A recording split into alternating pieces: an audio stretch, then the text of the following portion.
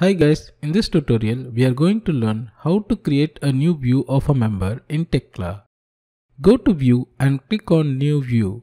You get a drop down showing various options to create a new view. Let me explain one by one. The first one is basic view. Clicking on will open a dialog box. Specify the plane and depth you want to create the new view and click create to create a new view on specified plane and depth.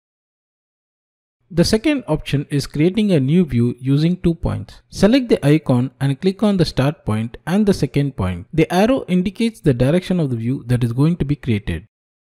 The view is created perpendicular to the direction of specified points. Use Ctrl plus Tab to switch between views. Next is using three points. Click on the icon and specify the X and Y plane in which you want to create the view plane. Next icon is along work plane. The new view is created based on the position of the work plane. Here the red axis symbol represents the work plane. Next option is along grid lines. Clicking on the icon will pop up a dialog box with predefined settings. Modify the changes required and click on create button to create the new views along the grid lines. The next option available is on a plane. The highlighted option indicates creating a view plane using a members drawn in Tekla.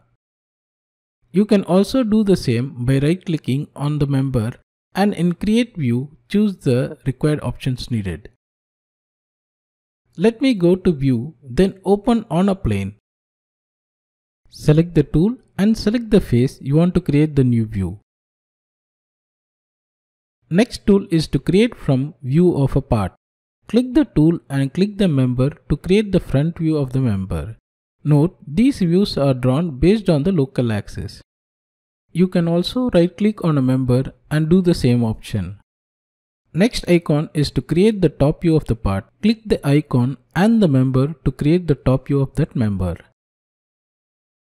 Similarly, we can get the back and the bottom view of a part required. Clicking on 3D view of part creates a 3D view of that member.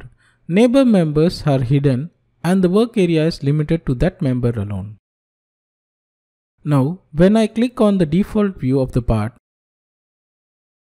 multiple views containing the end, front, perspective, top views are created. Clicking on the undeformed part view will create a deformed member to be undeformed and a new view is created for that member. Select the icon and click the member to create the undeformed view. Last two option is with respect to component. Before clicking on the components, note the selection filter for component is on. Then select the icon and click on the component you want to create the 3D view. Clicking on the default view of the component will create multiple view like end, front, perspective, top views similar to that part members. That's it guys. We have seen various methods to create a new view in Tekla. See you at next session.